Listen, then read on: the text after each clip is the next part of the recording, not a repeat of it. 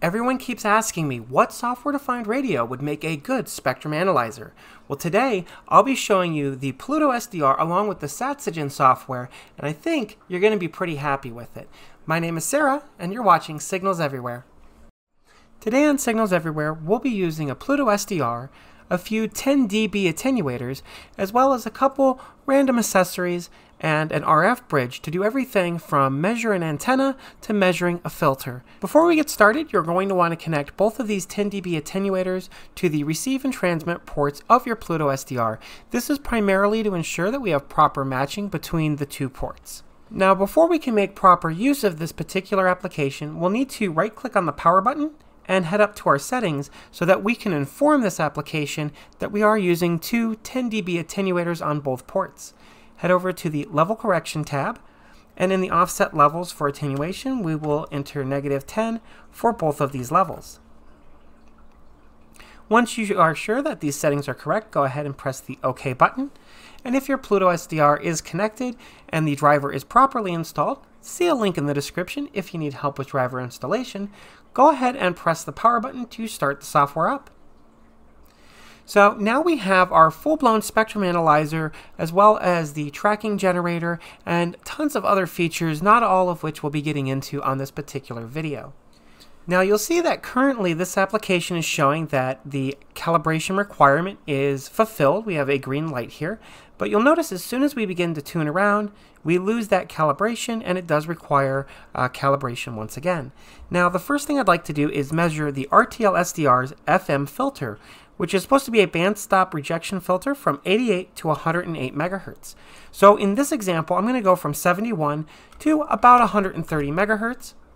We're going to leave our receive gain at 30, transmit power at negative 20, and our resolution at 512.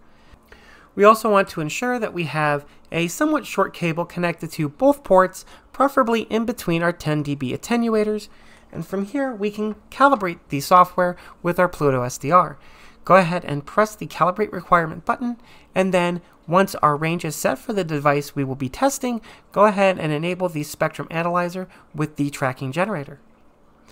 So you'll see that this, this, is going to have the Pluto SDR begin sweeping this particular range, and it's going to give us a nice baseline for when we um, remove the cable and then insert our device under test, in this case our RTL SDR FM filter.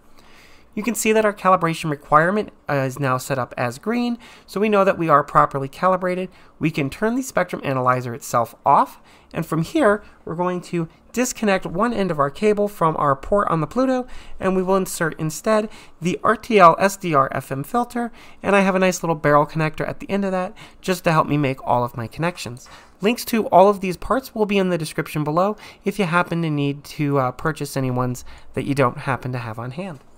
Let's go ahead and start the spectrum analyzer and tracker back up. And you'll see we again get the usual sweep that we did before, except this time we are measuring the actual filter itself. So let's go ahead and just do a uh, pause on that particular output.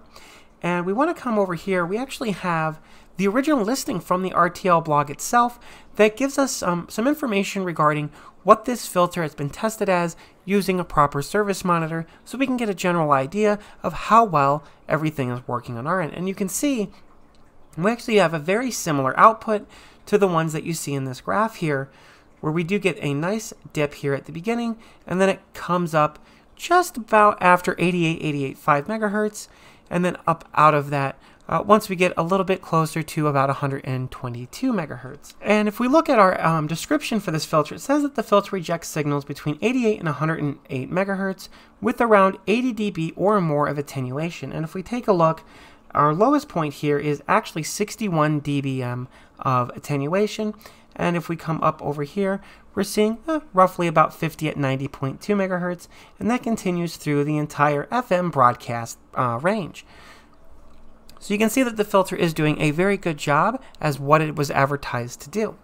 Now we can also see that outside of the bandpass insertion loss, well below 500 megahertz is less than 0.5 dB, and they give us various other losses. Essentially they're saying that um, anywhere between 1 and 2 or 2 to 3 gigahertz, they should be below 1.5 dB of attenuation or insertion loss. So the idea here is that if you're using this to filter out FM noise on, say, the L band, you can do so without interfering with that L band reception itself, and we can test this ourselves using the Pluto SDR and the SATSAGEN software. Let's go ahead and turn this off, and we will adjust our stop frequency to be about 1700 megahertz, which is the upper end of the band where we have L band and other frequencies, and it's the upper end of what the RTL is capable of. Now, if we want this to be somewhat accurate, because we've changed our frequency, we do need to calibrate again.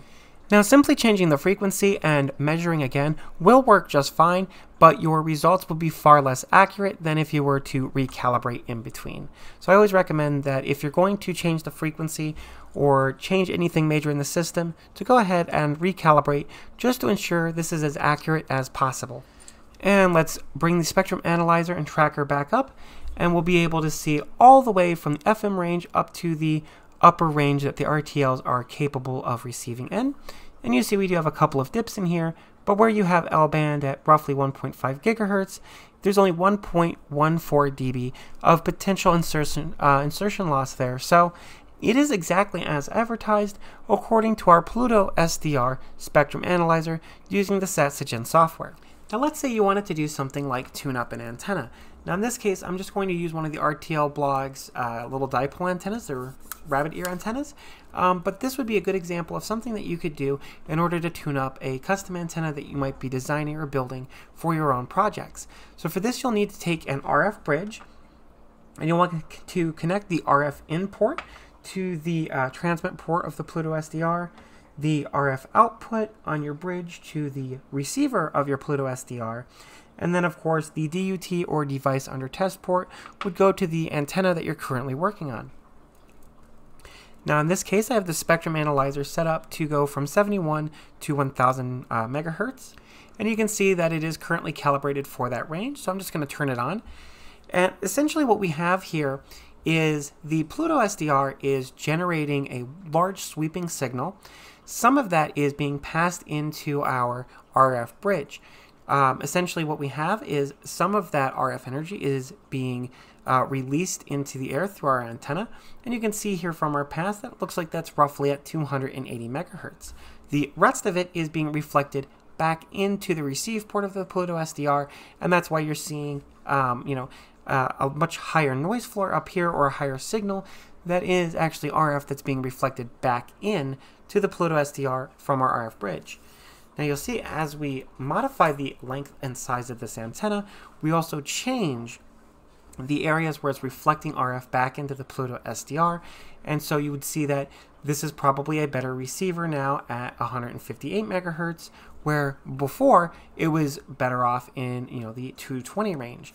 So this is a crude example. Obviously, this antenna is not going to tune properly with me sitting here and uh, just holding on to it. We have no ground plane or any other proper stuff going on, but it gives you an idea of how you could use just a Pluto SDR and a couple uh, accessories to essentially tune your own antenna without having to buy all of this expensive hardware to get things done. Uh, the Pluto is very, very affordable, and it's definitely one of my favorite transmit capable SDRs, hands down.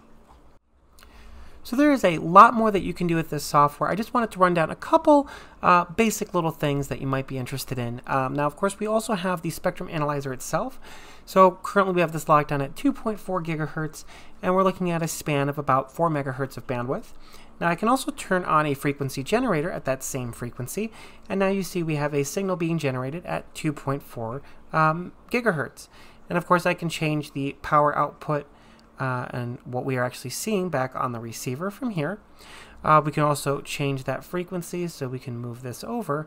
And now the nice thing here is not only can we try things like different types of modulation like AM or narrowband FM or even FSK, um, of course generally we would want to keep this on CW, this also means that we have the, the um, ability to do things with the spectrum analyzer, such as um, excessively wide uh, spans.